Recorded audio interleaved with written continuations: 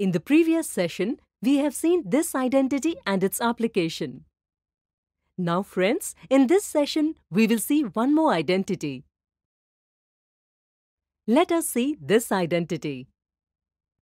This equation says that if we add two variables a and b and multiply it with a minus b, then it is equal to a square minus b square. Can you check if this is an identity? Let's see. Consider this expression. Let us simplify this by removing the brackets. It will be equal to this. Now, here since AB is same as BA, positive AB and negative AB will get cancelled. Therefore, we will get this. We can see that this is the expression on the right hand side. Therefore, this is an identity. There is also an interesting way to prove this identity. Let's say we have a square and the length of its side is A. And we will remove a small square with side B from it. Can you tell me what will be the area of this remaining portion? There are two ways to find the area of this remaining portion. Let's look at the first one. We can see that this remaining area can be divided into two rectangles. The length of the first rectangle is equal to A and its breadth will be equal to A minus B.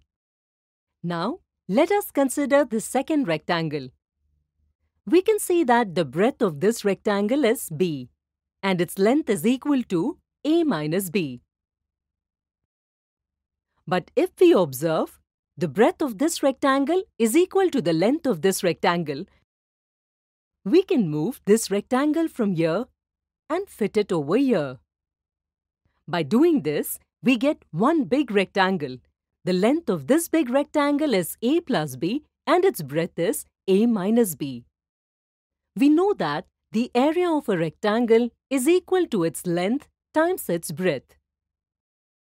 Therefore, the area of this rectangle will be a plus b multiplied by a minus b.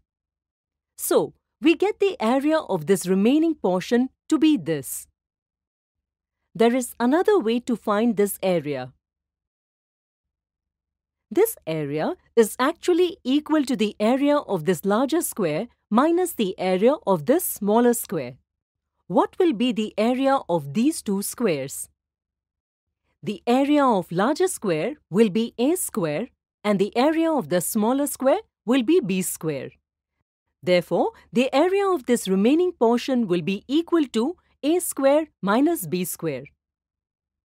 Since these two expressions are equal to the area of this remaining portion, these two expressions will be equal to each other. This way, we prove this identity. So in this session, we have seen this identity. In the next session, we will see some examples related to the usage of this identity.